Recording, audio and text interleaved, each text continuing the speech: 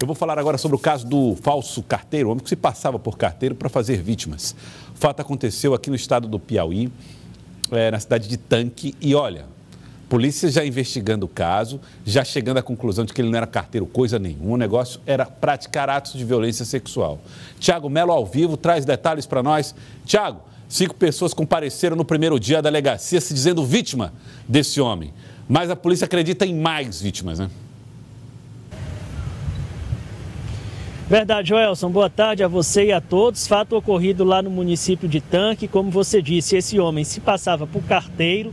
Os Correios já se posicionaram oficialmente dizendo que ele não faz parte do quadro de funcionários da empresa, mas ele também atuaria como vigilante e se aproveitaria desses adolescentes depois de criar uma relação de confiança com a família. A maior parte destas famílias, de acordo com a investigação, não possuem a figura paterna. E aí, a partir dessa relação de confiança, ele conseguia ter acesso a esses meninos, oferecia festas em casa regadas à bebida alcoólica, onde, de acordo com a apuração também, nessas festas, essa relação sexual terminava acontecendo. Algumas vítimas dizem que houve conjunção carnal, outras dizem que tiveram órgão sexual apalpados, enfim. Né? Era assim que esse homem agia. Das cinco vítimas que você falou, elas têm entre 10 e 13 anos de idade. Já foram ouvidas pela polícia, apontaram outros adolescentes que também podem ter sido vítimas, estão em fase de identificação e também devem ser ouvidos pela Polícia Civil. Ouça o que diz o delegado Felipe Andrade, do município de Elesbão Veloso, e que está à frente deste inquérito.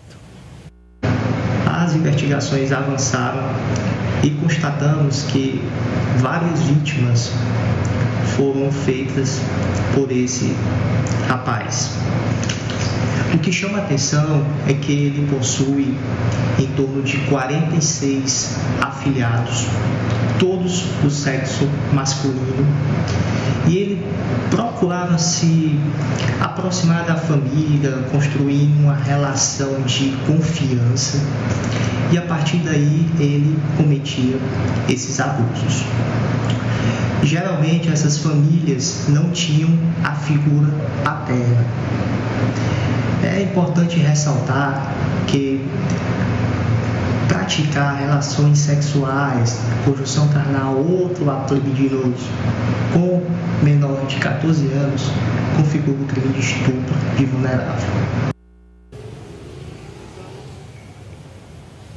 Uma das vítimas ouvida pela polícia declarou que era abusada desde os 9 anos de idade.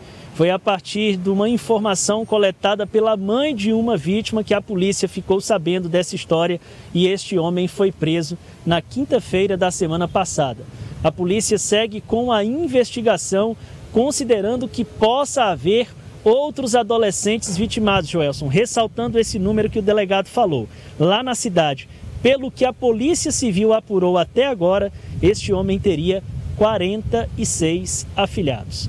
Tanque é uma cidade de 2.700 habitantes, está chocada com toda essa situação. Joelson. Não é para menos, Thiago, não é para menos. E Teresina tem que ficar chocada também, dependente do tamanho. É um absurdo o que aconteceu nesse caso. Vamos ver o que, é que a polícia vai dizer. Prudência nesse momento, já sabe que ele tem 46 afiliados, evidentemente que não dá para dizer que são 46 vítimas de violência. Mas são dados que a polícia. A traz para a investigação e que ajudam a esclarecer boa parte dos fatos. Agora, Tiago, hoje houve também uma apreensão, um trabalho feito pela polícia, que resultou na apreensão de um veículo blindado, é isso? É um carro blindado, e mais 17 mil reais. Que trabalho, fiquei impressionado com essas informações, Tiago. É, nós não estamos no Rio de Janeiro, é aqui em Teresina mesmo, na zona sul da capital. A polícia ontem, em um trabalho de monitoramento, havia suspeita de que havia comercialização, distribuição de entorpecentes ali na região do cemitério Santa Cruz, Promorá, Angelim, conseguiu identificar quatro endereços relacionados a uma mesma pessoa que estava sendo investigada e aí deu o bote. Conseguiu apreender droga, dinheiro e também um carro com blindagem. Um carro à prova de balas foi apreendido e está agora lá na delegacia, no pátio da delegacia de entorpecentes para averiguação. Vamos ver a reportagem. Parte da droga estava em um carro que vinha sendo monitorado pela polícia.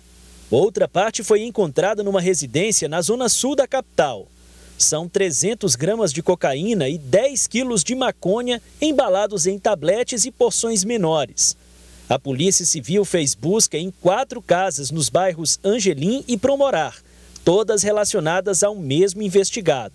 A delegacia já vinha fazendo um acompanhamento dos alvos e após a expedição dos mandados de busca, nós demos cumprimento a esses mandados e foram localizadas drogas no veículo em que os investigados estavam e na residência de um deles. É uma estratégia do, dos criminosos envolvidos com tráfico de drogas a utilização de várias residências para fracionar a quantidade de drogas e dificultar o trabalho da polícia.